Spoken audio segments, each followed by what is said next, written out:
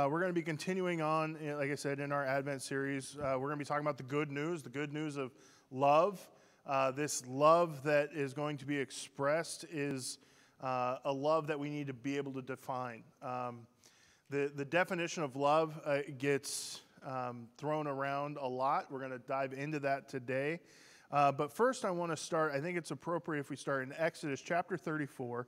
So if you have your Bibles, turn to Exodus chapter 34 and we will get started this morning. Let us pray. Dear Heavenly Father, Lord, we thank you that you've given us the opportunity to gather together to be in your word. Lord, I pray that as we walk through the scriptures that talk about your love and who you are, Lord, that we would understand that, God, you are above all things, that you are creator over all things, that you are king over all things, that you are God, that you are supernatural in your being, that you are beyond anything that we can comprehend.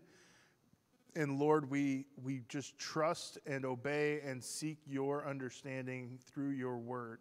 Lord, I pray that as we, we go through it, that you would be glorified and honored in your precious name. We pray. Amen. In Exodus chapter 34, starting in verse 5, it says this The Lord descended in the cloud and stood with him there, that being Moses, and proclaimed the name of the Lord. The Lord passed before him and proclaimed, The Lord, the Lord, a God merciful and gracious, slow to anger and abounding in steadfast love and faithfulness, keeping steadfast love for thousands, forgiving iniquity and transgression and sin, but who will by no means clear the guilty, visiting the iniquity of the fathers on the children and the children's children to the third and fourth generation. So here in the book of Exodus, we, we have this, this almost this primer about who God is. That the Lord, the Lord, it's repeated, is a God merciful and gracious, slow to anger, and abounding in steadfast love and faithfulness. It goes on to then say that that steadfast love and faithfulness is forgiving iniquity and transgression and sin but that justice will remain. We've talked about that uh, before as we've been going through the minor prophets. That part of the way that God loves is that He's just and that He is He will deal with sin and, and, and transgressions justly. And just as a loving parent disciplines their child, God will at times discipline his children. But his love, his steadfast love, is eternal and it's part of who he is that, that he is Lord, that he is merciful, that he is gracious, that he is slow to anger, and that he is abounding in love. You see, we use the word we use words to describe meaning to things, to uh, ascribe meaning to concepts, to ascribe meaning to feelings, uh, and other terms. We do this because words have meanings. Words have definitions, Words have implications and consequences. Some words and their meanings have stood the test of time, while many others have changed because of cultural shifts, targeted efforts to shift meaning to meet a desired end, as well as faulty understanding of context. Words and their definitions today can even change from day to day. A word can mean one thing today, and depending on who and how it's used, might have to be changed so it means another thing tomorrow. We see this actually happening. When scripture is translated, though, into different languages from the original text, one of the most difficult tasks is to try and understand and ascertain the meaning of a word or phrase in its given context, be it historical, literal, or authorial. When we talk about love, we are talking about a word that biblically has multiple meanings in the original language of Scripture, depending on how it's used. When talking about God and us, we need to understand the major differences between the love that comes from God, which is a supernatural, beyond the natural law, holy, and without fault or corruption, and then the love that we attempt to express, which is naturally bound eh, by natural law and corrupted by sin. You see, we use the term love, we use the word love, we use the concept love, we use the emotion of love differently than God does. And the reason is that is because He is God and we are not. God has a, a level of love to where he is love, as we're going to look in the scriptures. But how do we, humanity, see and use love? Culturally, love has been used as a catch all to describe emotions, define relationships, express desire, show loyalty, demand tolerance, and much more. We use love as a way to convey many things. The problem with humanity and love is the same problem humanity has with everything else this side of glory, and that is sin. Sin corrupts our ability to love with a pure heart. It deceives us into thinking that as long as we're seeking love, we can't go wrong. Troves of songs and movies and car- cards and holidays have been made to express this idea of love. There's even the song, All You Need Is Love. Cultural movements have been, made, have been powered and fueled by this word love. Um, we had the whole sexual revolution of the 50s and 60s where love was, didn't cost you anything. It was free, free love for all. It's just love, man. Yeah, I, I researched that. Don't worry. But this idea that love, the word love is, is powering and fueling movements. The most recent of movements has shifted from the term God is love to love is love. The first was a hijacking of the biblical truth, God is love, by replacing the supernatural biblical definition of love in 1 John 4 8, which we'll get to, with the natural earthly understanding of love, which is temporal, carnal, and, and corrupted by sin.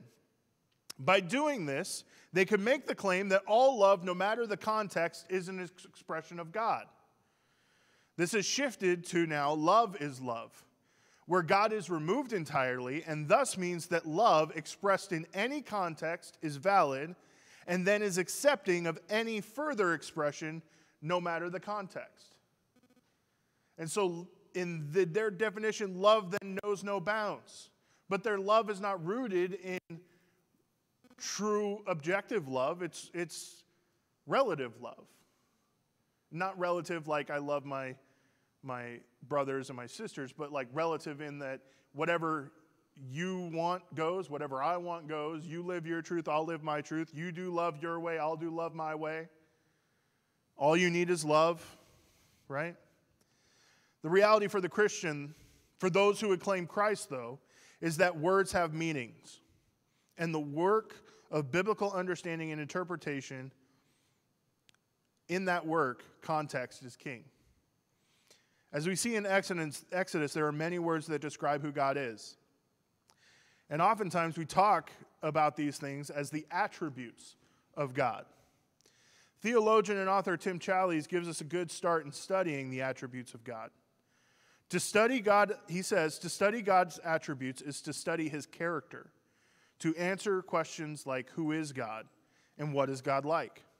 A typical classification of God attributes divides uh, God's attributes divides them into those that are incommunicable, those that he does not share or communicate to anyone or anything else, meaning those are the attributes that are God's and God's alone, and then communicable, those that he shares with other beings.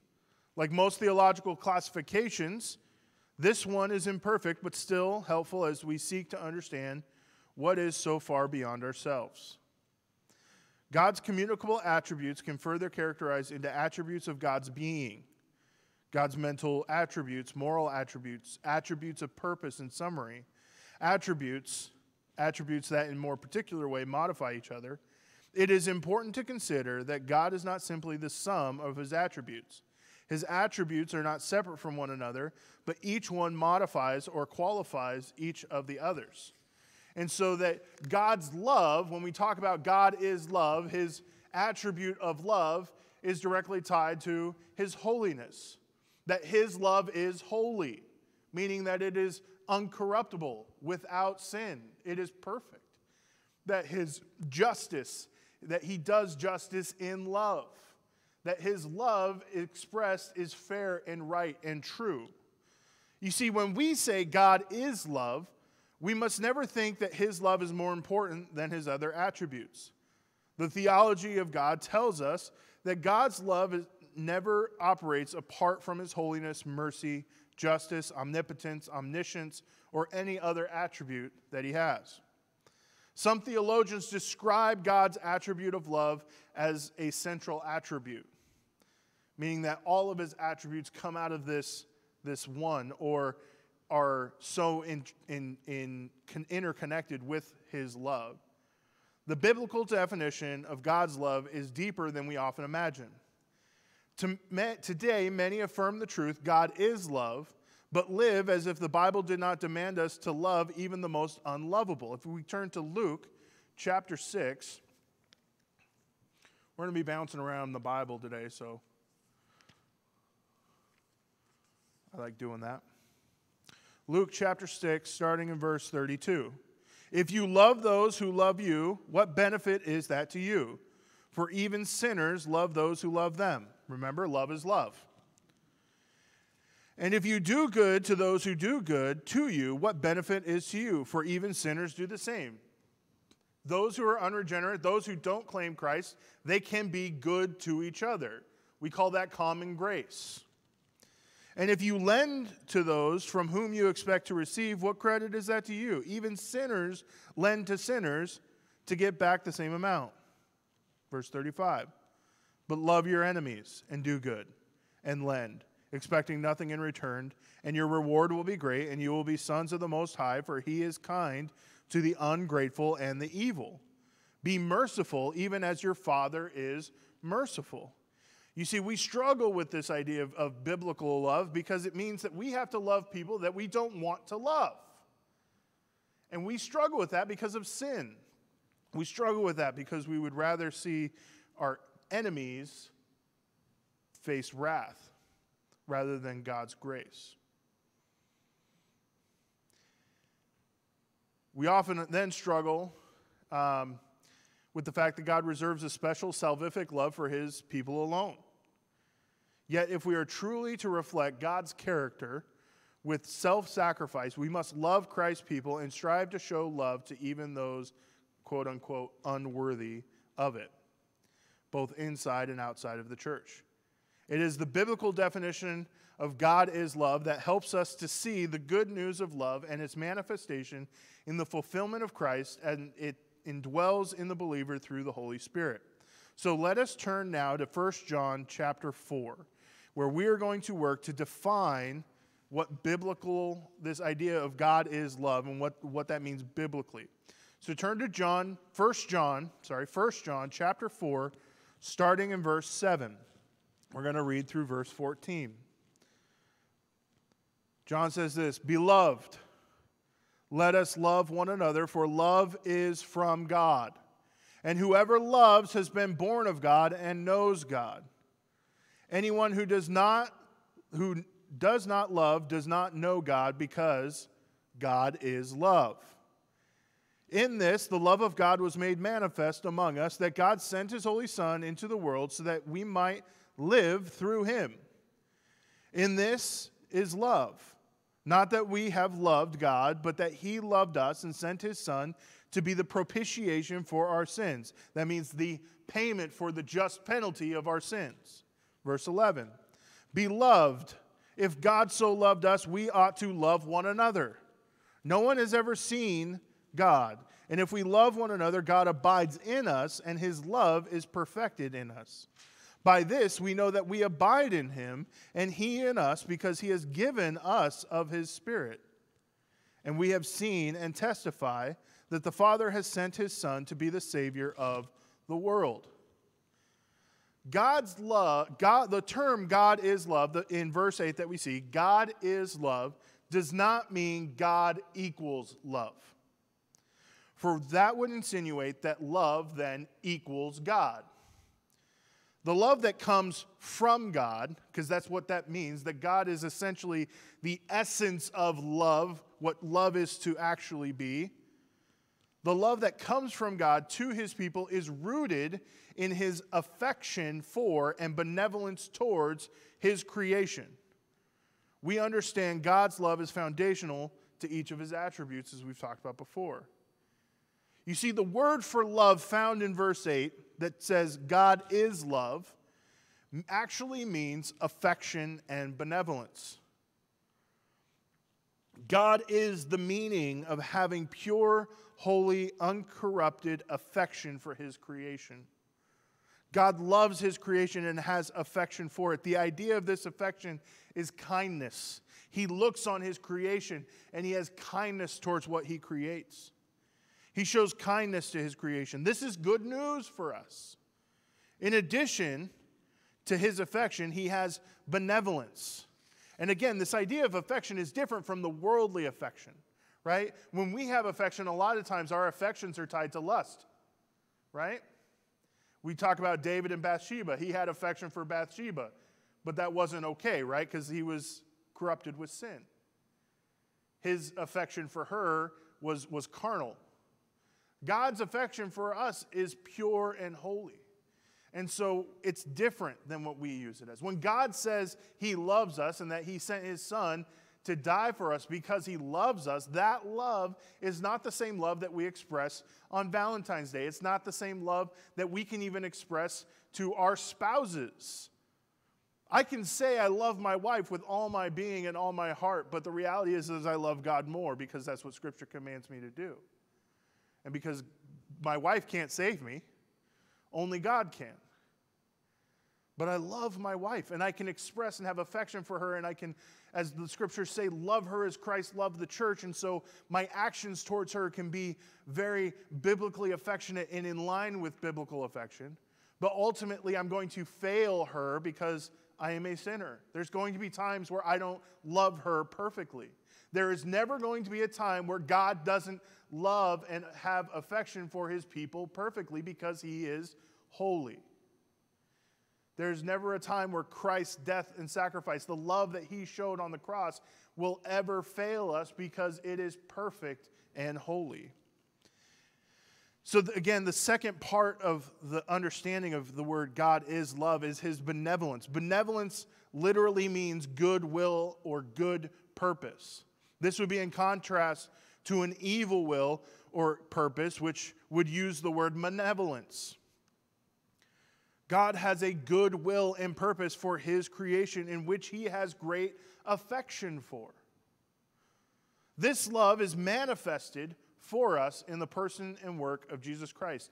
God's affection for his creation to redeem us back into himself then was manifested, that benevolence, his goodwill and purpose for his creation was manifested in the person and work of Christ. And when we receive this love through Christ, it is then sealed by the Holy Spirit, and we are able to have the capacity to love as God has loved us through Christ. We get to share in that act of love with the world. We begin to have our hearts changed to having affection for ourselves to having affection for others, from seeking our own will and purpose to submitting to the good will and purpose that comes from God. As we abide in the love of Christ, we produce the fruit of love towards others and have assurance of our salvation in Christ. John, earlier in his gospel, spoke of this abiding love in his gospel. So let's go to John chapter 15. John chapter 15. Starting in verse 1.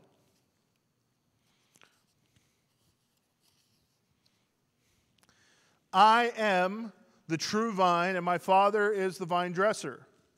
Every branch in me that does not bear fruit, he takes away, and every branch that does bear fruit, he prunes, that it may bear more fruit. Already you are clean because of the word that I have spoken to you. Abide in me, and I in you, as the branch cannot bear fruit by itself unless it abides in the vine. Neither can you unless you abide in me. I am the vine, and you are the branches. Whoever abides in me and I in him, he it is that bears much fruit. For apart from me, you can do nothing. If anyone does not abide in me, he is thrown away like a branch and withers, and the branches are gathered and thrown into the fire and burned. Verse 7 If you abide in me and my words abide in you, ask whatever you wish, and it will be done for you. By this my Father is glorified that you much that you bear much fruit and prove to be my disciples. As the Father has loved me, so I have loved you. Abide in my love. If you keep my commandments, you will abide in my love, just as I have kept my Father's commandments and abide in his love. These things I have spoken to you, that my joy may be in you and that your joy may be full. We'll probably be talking about that verse next week. This is my commandment that you love one another as I have loved you. Greater love, again, this idea of a greater love, the biblical love, greater love has no one than this that someone lay down his life for his friends. You are my friends if you do what I command you. No longer do I call you servants, for the servant does not know what his master is doing, but I have called you friends, for I for all that I have heard from my Father I have made known to you. Verse 16, you did not choose me, but I chose you and appointed you that you should go and bear fruit and that your fruit should abide, so that wherever you ask the Father in my name, it'll be given to you. These things I command you, so that you will love one another. You see, we are, we are to, th- this abiding in Christ, this abiding in this affectionate, benevolent love that was manifest in the person and work of Christ, and we get to share in that through the grace that we receive by faith in Christ that love, then we get the opportunity to express and point to the biblical work of love to others. We are to love others by pointing them to Christ. John states that love is a fundamental mark of those who have authentic faith. If one who loves has been born of God and knows God, if you look back at um, chapter 4, verse 7 of 1 John, then the one who does not love has neither been born of God nor does he know God. God is love, again in verse 8. That is, love is essential to God's nature. If we truly have become partakers then of that nature and increasingly reflect God's holy and loving character, if we become more Christ like in our obedience to his commandments and his word, then we will have no choice but to love other people. Our transformed hearts will inevitably respond to God's call that we love others as He loves us. We will endure to love and endeavor to love if we have ever been born of God. And we will repent when we find ourselves not loving as He has commanded. And so, part of the question there is have we been loving as God has commanded us to love? Have we been loving as Christ loved us? Have we been sacrificing for others for their benefit to see Christ more? Or have we not been doing that? Have we been, instead of showing love, have we been showing anger and resentment and hatred and bitterness? Or have we actually been showing the love of Christ that saves people from hell? that points people to the manifestation of the affectionate and benevolent love that is God made manifest in Christ. You see, when we do these things, when we work through those things, what we see is we see that God works, that it becomes a testimony to what God has called us to be a testimony to. Go back to 1 John.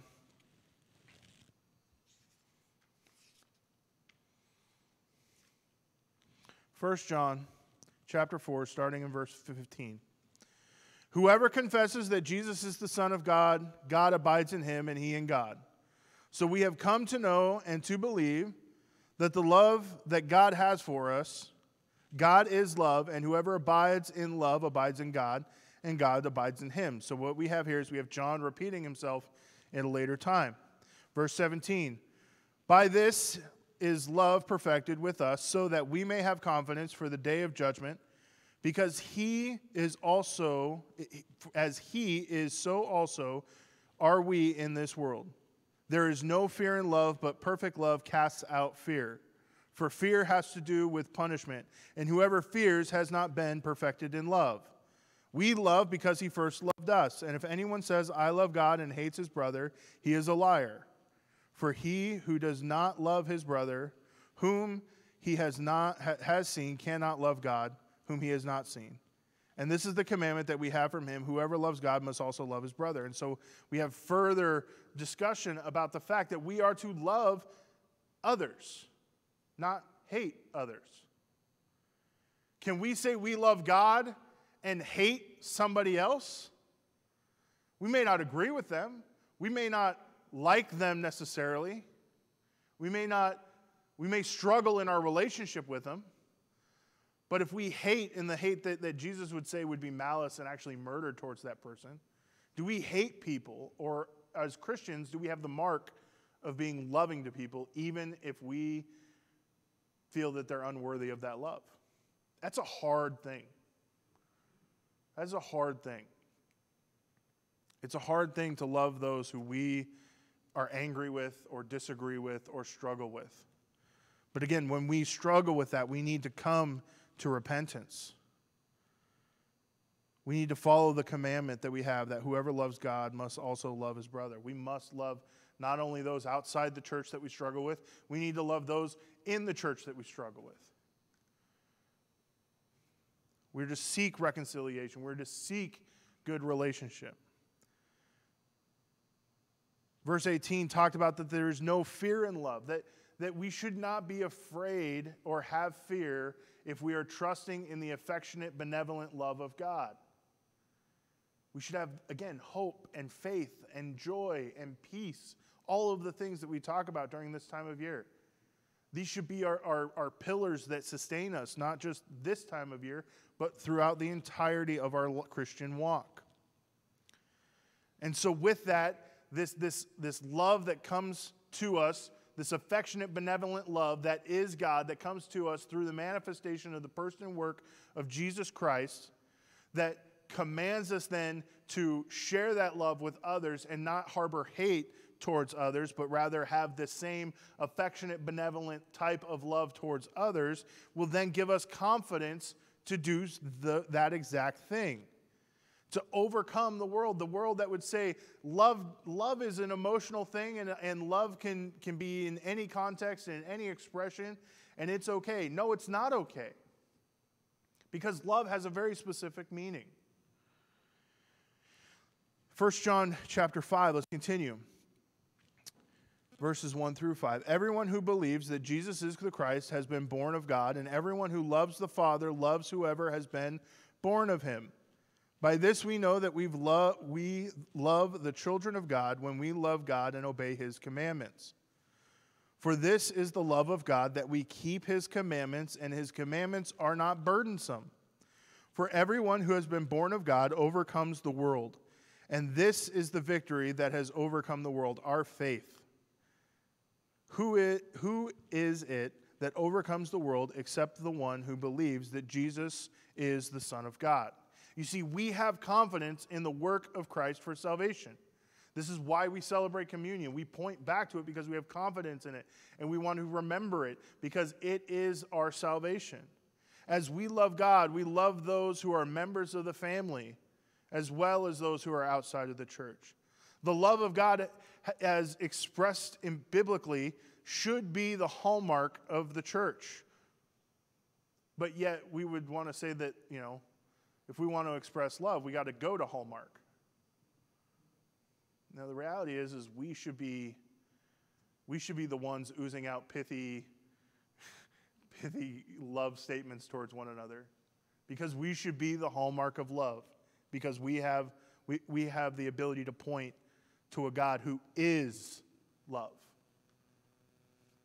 Perfect love.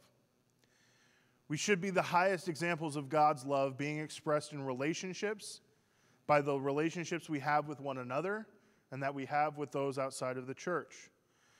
The truth is, because of our sinful pride and ego, we often have division that hinders our witness of God's love. But he says here in Scripture, for this is the love of God, that we keep his commandments, and his commandments are not burdensome. The commandments of God are not burdensome to those who love God and are his children. We delight in the law of God as the standard by which we live with each other and with the world. Often it is our biblical illiteracy that prevents us from knowing and following God's commandments.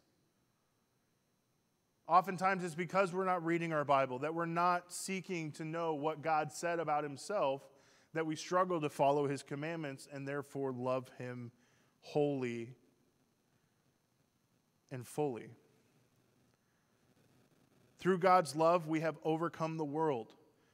We have overcome the world because Christ has overcome the world, that Christ has victory over sin and death.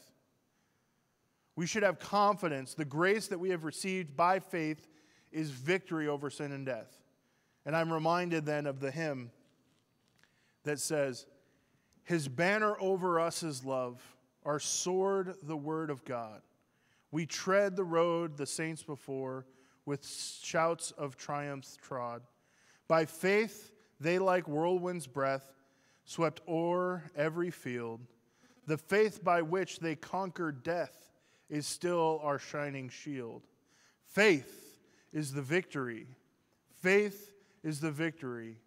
Oh, glorious victory that overcomes the world. You see, we have confidence in the love of God because God is love. We have confidence in the affectionate, benevolent love of God that is God, that comes from God through Christ to the world, to us. Let's continue on. 1 John chapter 5, uh, verse 6. We're going to read this passage and, and close up. This is he who came by water and blood, Jesus Christ, not by the water only, but by the water and the blood and the Spirit is the one who testifies, because the Spirit is truth. For there are three that testify the Spirit, and the water, and the blood, and these three agree. If we receive the testimony of men, the testimony of God is greater. For this is the testimony of God that he is borne concerning his Son. Whoever believes in the Son of God has testimony in himself. Whoever does not believe God has made him a liar because he has not believed in the testimony that God has borne concerning his Son. And this is the testimony of God that God gave us eternal life, and this life in his Son, that whoever has the Son has life, and whoever does not have the Son of God does not have life. I write these things to you who believe in the name of the Son of God, that you may know that you have eternal life. Our confidence is in the testimony of Christ. John asks the following question Who is it that overcomes the world except the one who believes that Jesus Christ is the Son of God? This affectionate, benevolent love that comes from God is for his people. And it comes through Jesus Christ. So, no other form of love, no earthly form of love, no earthly love that would want to seek a, a earthbound utopia, any sort of love movement, love is love, love is free, whatever it is, all of it will fail to try and reach God or try and reach holiness. Because the only thing that overcomes the world is Christ. And we get to overcome the world because we are in Christ. You see, the answer that he explains is no one can do that. It is only the affectionate, benevolent, holy love of God that can overcome sin and death, overcome injustice, overcome evil, overcome unfairness, overcome our worship of the self. You see, but if we just love, we can overcome all of the problems in our world. No, you can't overcome the problems of this world with your love only Christ's love can overcome sin in this world.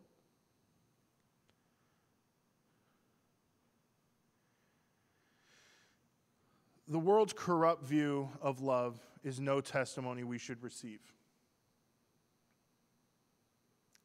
So, no bumper sticker that says love is love, no free love movement, no, no earthly bound structure or testimony about love is something that we should receive.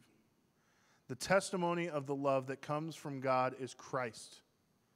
From his baptism, his shed blood on the cross, and the coming of the Holy Spirit. This is the only testimony about God's affectionate, benevolent love that brings eternal life through Christ that is for our salvation and for the salvation of the world. It is the only testimony that we are to receive.